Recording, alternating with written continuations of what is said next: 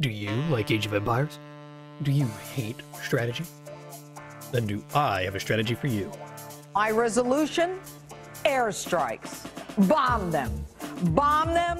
Keep bombing them. Bomb them again and again. Start by choosing the Celts.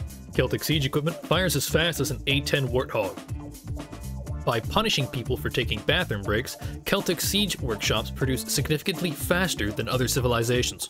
For the map, any map will do.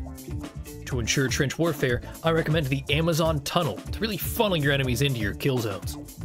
In the early game, you can dig your trenches with palisades and watchtowers. Later on, you want to focus on stone walls and castles. Your trebuchets will destroy anything at range, while your onagers will destroy anything ever that dares touch your walls.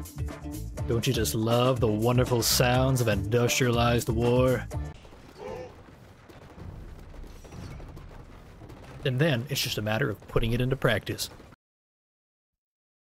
Daryl's here. I love that guy. It happened. They broke through the lines. They broke through the lines because my units didn't listen. It's over. It's over. This is it. So what I'm going to do is send forth the Panzer Battalion. Panzers, charge! Mein Führer. Steiner. Yeah, this strategy absolutely blows chunks. Don't do it.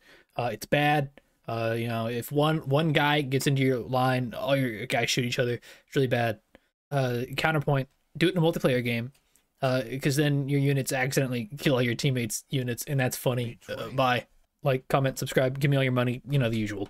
This video was based on a live stream in the channel in the description below. Check that out if you want to see more of this too.